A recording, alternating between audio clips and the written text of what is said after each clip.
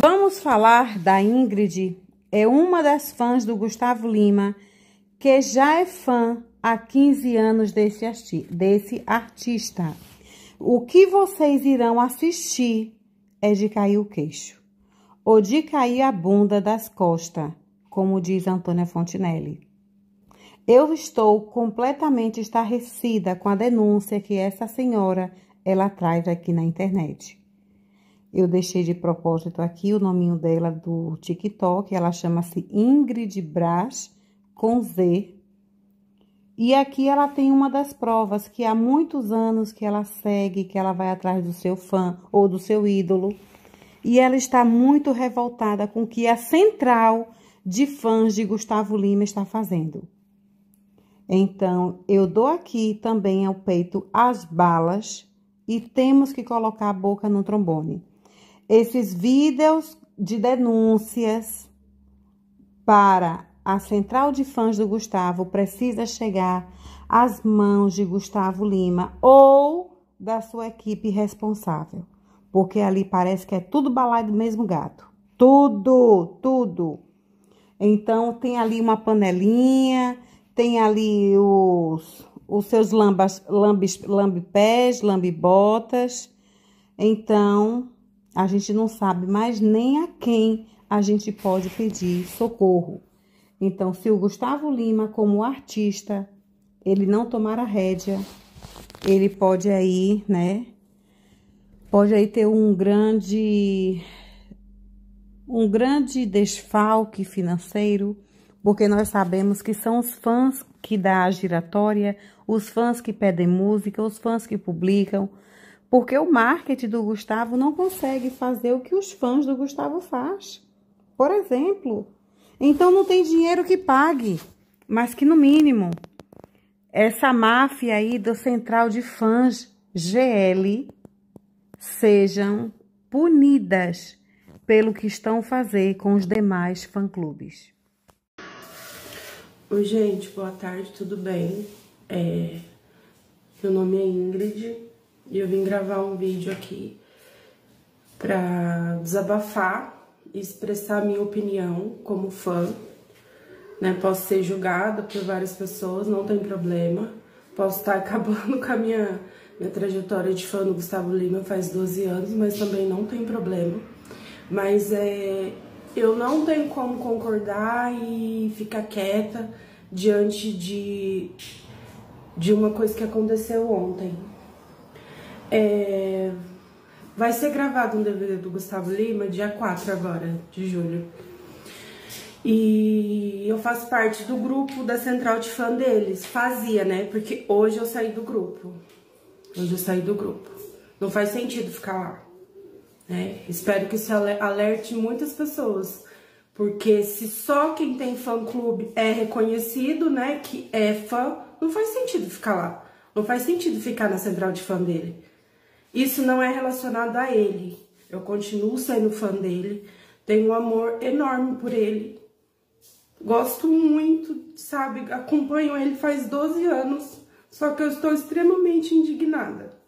Porque se para ser fã dele tem que ter não sei quantos mil seguidores é, no Instagram de fã clube, sei lá, então eu já fui descartada, eu e várias pessoas a central de fã dele, que cuida dessa parte da, da carreira dele, lançou uma promoção que não foi divulgado, né? Fiquei sabendo também que existe um grupo de, de WhatsApp só de fã-clube oficial.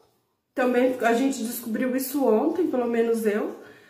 E tudo foi feito ali, entre eles, sortearam as pessoas que vão na gravação do DVD dele e divulgaram o resultado. E aquilo pegou eu e muita gente surpresa. Mas aonde foi divulgado isso? Aonde que foi postado? Olha, vai ter a gravação dele, é as pessoas para ir, tem que ter fã-clube oficial, tantos mil seguidores que vai poder participar, sabe? A gente até entende ser divulgado lá no Instagram, na, na, na página da, oficial dele, tudo bem, tudo regulamentado, tudo bonitinho. Mas simplesmente aparece o resultado das pessoas que vão.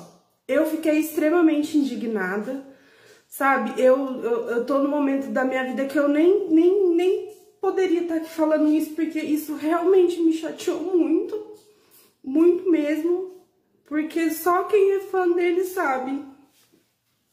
Eu queria perguntar pra você, Gustavo. Não vou perguntar pra sua equipe, sabe por quê? Porque deles eu já tive a resposta. Uma central de fã que, que não ajuda em nada, nunca pode ajudar fã nenhum. Não vejo nada, só sabe entrar lá pra pedir as coisas e a gente sempre ajuda porque, porque quer ver você no topo. Quer ver você no, no, no, no auge, porque a gente quer que você se mantenha sendo o número um do Brasil, porque quem é fã quer o bem do artista. Então, a resposta da, da sua equipe eu já tive. Eu quero saber de você, Gustavo. O que é ser fã pra você? Eu queria muito que esse vídeo chegasse até você, que esse vídeo viralizasse. Eu queria saber o que é ser fã pra você. Ser fã é ter não sei quantos mil seguidores? Então eu não sou. 12 anos que eu te acompanho. Já fiz tudo o que eu pude que eu não pude, sabe? Pra te prestigiar, pra ir nos lugares que você tá. Perguntar pra você, Gustavo. Não vou perguntar pra sua equipe, sabe por quê? Porque deles eu já tive a resposta. Uma central de fã que, que não ajuda em nada, nunca pode ajudar fã nenhum não vejo nada, só sabe entrar lá para pedir as coisas e a gente sempre ajuda porque, porque quer ver você no topo, quer ver você no, no, no, no auge, porque a gente quer que você se mantenha sendo o número um do Brasil, porque quem é fã quer o bem do artista. Então, a resposta da, da sua equipe eu já tive. Eu quero saber de você, Gustavo. O que é ser fã pra você? eu queria muito que esse vídeo chegasse até você, que esse vídeo viralizasse. Eu queria saber o que, que é ser fã pra você. Ser fã é ter não sei quantos mil seguidores, então eu não sou. 12 anos que eu te acompanho. Já fiz tudo o que eu pude que eu não pude, sabe? Pra te prestigiar, pra ir nos lugares que você tá gastei horrores, todo mundo sabe. É o dia inteiro te divulgando nas minhas redes sociais pessoal. Não é nem, nem página de, de fã clube, é, o, é minha página oficial. É o dia inteiro Gustavo Lima, Gustavo Lima. Porque realmente é, eu tenho essa admiração por você.